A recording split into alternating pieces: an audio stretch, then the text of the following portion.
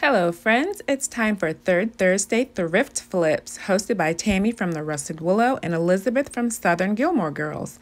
Links to the host and the playlist will be in the description box.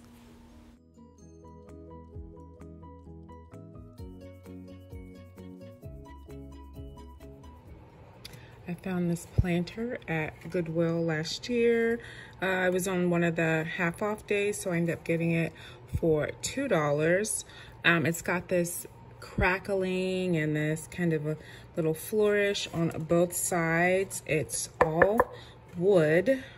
Um, I want to go ahead and give this a makeover to make this look a bit more like cement or stone and pop this off and then fill it with some beautiful springy, summery type florals gonna go ahead and give it a wipe down and then get this pulled off.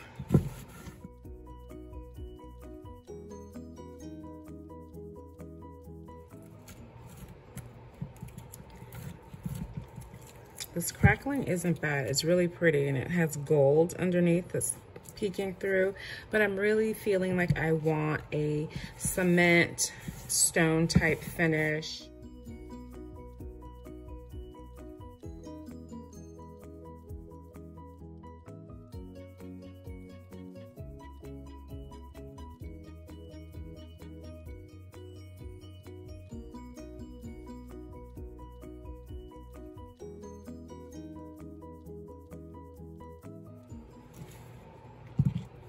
Okay, so to embellish the sides before I repaint, I have some floral silicone molds with um, roses with the stems and leaves and then some rosettes.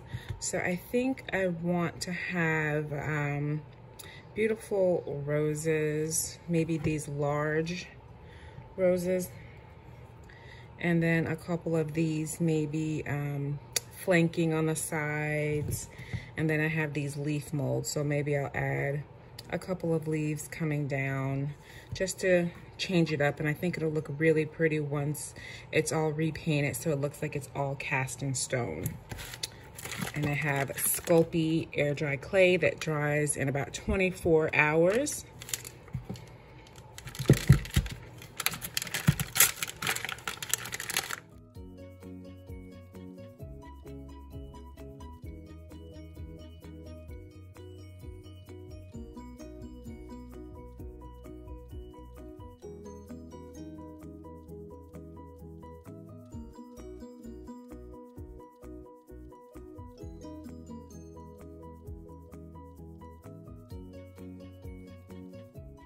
So when I'm popping these rose pieces out, I realized that I should have just used one large piece of clay like I usually do with these molds, but I wanted to avoid having to do a lot of picking around the really thin area where the stems are. So with them in pieces like this, I'm like arranging and rearranging and I just kept fiddling around with how I wanted everything set up and I did end up using two rosettes on either side of my center roses and then I used a single leaf on either side and I didn't have them at the bottom. I ended up making them um, to go just a bit a slightly a little bit higher than the rosettes so I have this beautiful like 3D image of all these roses nearly, you know, along the whole length of the front and back. And I think it really gave a nice look and very different from the original little flourish that was on this planter.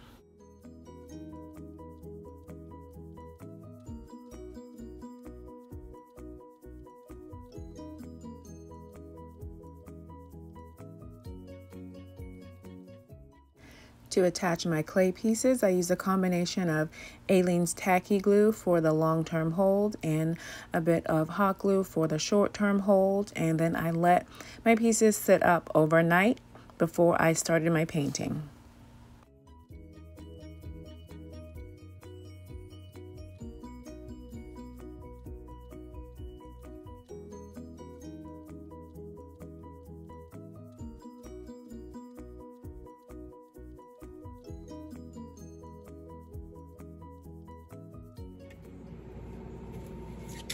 Okay, so I let this dry overnight and it's ready to be painted.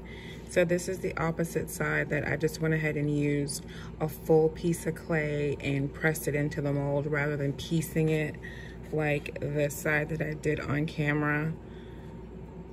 But everything's gonna be the same color, the same stone-like color, so it really won't matter. But I'm very happy with the way this turned out. So what I wanna do is mix um, like a custom color. I've got um, some chalk paint and um, mineral from Waverly, a bit of granite gray, a little khaki, and then um, some white. So I'm hoping with all of these colors mixed together that my planter will have the appearance of a cement planter with different variations in color and not just one single tone.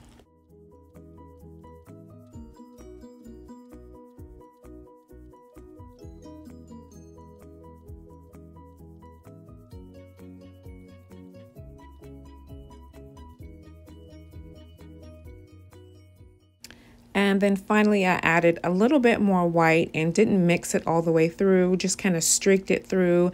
So once it's applied to the planter, it really will give the appearance of cement with little streaks here and there of white peeking through.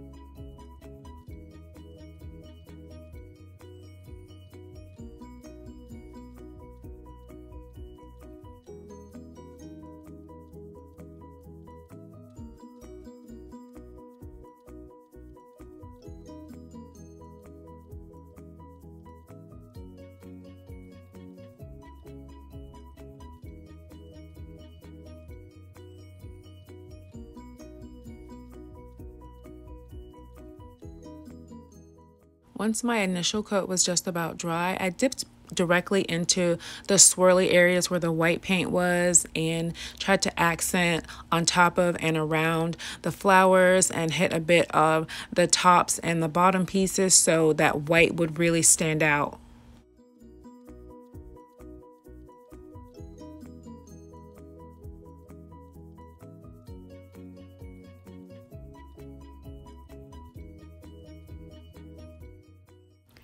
And here the planter is with the paint completely dry. I love that the crackling is still evident through the gray paint. So I decided not to do a full second coat. I just, like I said, I went back and dipped into the white parts and did a bit more of, of accenting to certain areas. And I just love the way it turned out. It looks aged. It looks like cement. And I'm happy with this makeover.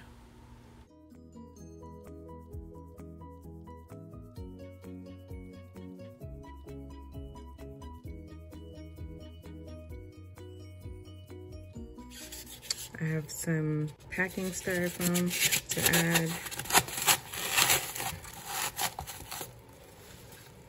I have several different types of florals. I have some white roses, some really pretty um, frosted florals from Dollar Tree and these gorgeous golden yellow roses. So I'll try them out. I'm not sure what I want to use. So I'll just do a different, um, a few different looks and then I'll get consensus from you guys in the comments. These florals are really beautiful for spring with the purples, the pinks, and the yellow tones. They really look nice against the grays of the cement. And this white is a beautiful neutral option that really could be used year round. Different decor styles. Glam could be, you know, this could be used for glam decor, farmhouse decor. Very versatile. And I love these large white roses. I found those at Family Dollar for $3. These golden roses, I found these at Family Dollar as well for $1.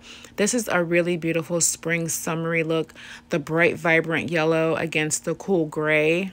I think I might like the yellow roses best, but you guys let me know which one do you like best? Option one, two, or three. I think they all look great in this made over planter.